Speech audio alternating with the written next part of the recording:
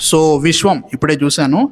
నేను అనుకున్నంత రాడ్ అయితే కాదు భయ్యా. రాడ్డే ఖచ్చితంగా సినిమా రాడ్డే కొన్ని కొన్ని సీన్స్ చూస్తుంటే hey Seenu wait you're back అనే ఫీలింగ్ వస్తుంది. ఆ సీన్ స్టార్టింగ్ అప్పుడు అరే ఇది బాగా వెళ్తుందనే ఫీలింగ్ వస్తుంది. సీన్ ఎండ్ అయ్యేసరికి ఆ రాడ్డే భయ్యా ఇది మారదు అనే ఫీలింగ్ వచ్చింది అనమాట చాలా సీన్లు ఉన్నాయి. ముఖ్యంగా ఈ సినిమాలో ప్రీవియస్ సినిమా వైట్ల మూవీస్ ఏవైతే ఉంటాయో వాటన్నిటిని కలిపి మిక్సర్లో పెడితే ఎట్లా ఉంటుందో అట్లా అనిపించింది అనమాట టేస్ట్ చండాలంగా ఉంటుంది. అట్లుంది. కామెడీ సినిమా వైట్ల కాబట్టి మనకు తెలుసు కాబట్టి అవి వర్కౌట్ అయ్యాయి కొన్ని కొన్ని సిచ్యువేషన్స్లో ఫస్ట్ హాఫ్లో సునీల్ కామెడీ కొంచెం సెట్ అయింది. సెకండ్ హాఫ్లో కనుక Vennela Kishore లేకపోయింటే cinema Assam train already train వెళ్తుంది. అస్సాం వెళ్ళిపోయేదన్నమాట. అంతుండే అనమాట దారంగా అనిపించింది మిగతా అంతా కూడా. సెకండ్ హాఫ్లో మాత్రం ఒక జబర్దస్త్ సీన్లు జరుగుతూ ఉంటాయి. అవి చూస్తుంటే మాత్రం చిరాకు లేసింది అట్లాంటి చాలా సీన్స్ ఉన్నాయి. స్టార్టింగ్ ఒక మంచి పాయింట్తో స్టార్ట్ అవుతుంది అనిపిస్తుంది. ఓకే ఇది సినిమా వెళ్తుందని. అక్కడతో కంటిన్యూ చేస్తే ఇది రాడ్ సినిమా ఎట్లయితుంది? లేదు పాయింట్ని మధ్యలో ఆపేయాలి. సొల్లు కామెడీ పెట్టాలి. హీరోయిన్ ఇంట్రడ్యూస్ చేయాలి. దాంతో టైం అంతా లాగాలి. పాయింట్కి ప్రీ ఇంటర్వెల్ దగ్గరికి రావాలి. ఆ ప్రీ ఇంటర్వెల్ పాయింట్ సరే లేకపోయిందనుకో సినిమా అక్కడే పోయేది. ప్రీ ఇంటర్వెల్ పాయింట్ బాగుంది ఇంటర్వెల్ సీన్ బాగుంది. దాని తర్వాత ఏదైతే జరుగుతో అదే జరిగింది. మళ్ళీ రోత కామెడీ యాడ్ చేయి కంటిన్యూ చేయి పాయింట్ పక్క పెట్టే అని ఫీలింగ్ ఎన్నిసార్లు వచ్చిందో.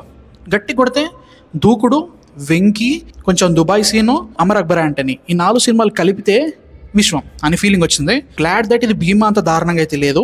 బట్ స్టిల్ రాడ్ నందలేస్ గ్యారంటీగా కొన్ని సీన్స్ మాత్రం స్కిన్ వైట్ గారు కాబట్టి కామెడీ వర్కౌట్ అయింది కొన్ని కొన్ని దగ్గర. అంత మాత్రం కుక్క రాడ్ అది మాత్రం గ్యారంటీగా I like the music in this one నాకు అది మంచి అనిపించింది మ్యూజిక్ అంటే లైక్ ఇన్ టర్మ్స్ ఆఫ్ పాటలు అంతే. బ్యాక్గ్రౌండ్ మ్యూజిక్ సేమ్ రొట్ట టెంప్లేట్ అదే ఉంది బట్ పర్లేదు అనిపించింది. హీరోయిన్ని అసలు ఎందుకు తీసుకుంటున్నారు మీరు? అసలు సినిమాకి హీరోయిన్కి సంబంధం ఏంటి? ఏదో పెట్టాలి కదా అని పెట్టడం ఎందుకు? అనవసరంగా కామెడీ లేని దగ్గర ఎందుకు ఇరికించడం? టూ అండ్ హాఫ్ అవర్ మూవీలో టూ అవర్స్ కామెడీ నడుస్తుంది. మెయిన్ పాయింట్ థర్టీ మినిట్స్లో చెప్పిండు. హైలైట్ ఏంటో తెలుసా? సినిమాలో ఉన్న పాయింట్ సరిపోదని చెప్పేసి లాస్ట్ ఫార్టీ మినిట్స్లో ఇంకొక కొత్త ఫ్లాష్ బ్యాక్ పెడతాడు.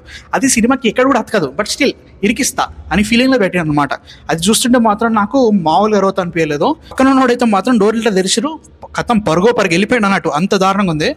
కొన్ని కొన్ని సీన్స్ అయితే మాత్రం కానీరా బాబు ఎందుకు ఇంత మా పేషెంట్స్ టెస్ట్ చేస్తున్నావు? అని ఫీలింగ్లో తీసిన అన్నట్టు. నేను అంత ఎక్స్పెక్టెడ్ అబ్బాయి ఆల్రెడీ ఎక్స్పెక్ట్ చేసిందే కదా. కొత్తగా ఏముంటుంది అనే ఫీలింగ్ ఉందన్నమాట. ఆల్రెడీ ఇట్లానే ఉండబోతుంది అనిపించింది. ట్రైలర్స్ అండ్ టీజర్స్ అలా అవే చెప్పినాయి.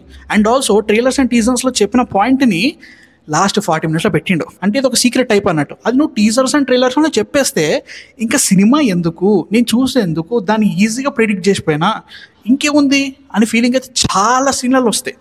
అసలు సినిమా పిచ్చ ప్రిడిక్టబుల్ ఉంటుంది. మనం చూసిన టెంప్లెట్లోనే వెళ్ళిపోతూ ఉంటుంది. విలన్ గాడు రొట్టగాడు ఉంటాడు. అసలు వాడిని చూస్తే భయం కాదు కదా కామెడీ నవ్వుస్తూ ఉంటుంది. వాడు చదువుతూ ఉంటాడు పేజీలు పేజీలు డైలాగులు ఇంత ఇంపాక్ట్ ఉండదు. ఎందుకు అవన్నీ? వేస్ట్ టైం వేస్ట్ అన్న అనిపించింది అయితే మాత్రం. కష్టం భయ్య. విశ్వం కూడా రామవానం భీమా కంటే విశ్వం కొంచెం బాగుంది అంతే but still it still a rod అదైతే గ్యారంటీ అనిపించింది. సో అదే ఇదన్నమాట సిచ్యువేషన్ పెద్ద రాడ్ వస్తుంది భయ్య. దట్ ఈస్ మార్టిన్ ఇప్పుడు వెళ్ళదే చూడాలి. నా బాధ ఏందో అర్థమవుతలేదు నాకైతే మాత్రం. So please pray for me and subscribe చేసుకుని ఉండండి. ఇంకా చాలా అవుతున్నాయి థర్టీ ఫైవ్ దాటేద్దాం. ఓకేనా thirty five thousand దాటేద్దాం. So please subscribe and next and next రివ్యూస్లో మళ్ళీ కలుస్తాం. అంతవరకు మ్యానుఫిక్షన్ సైనింగ్ ఆఫ్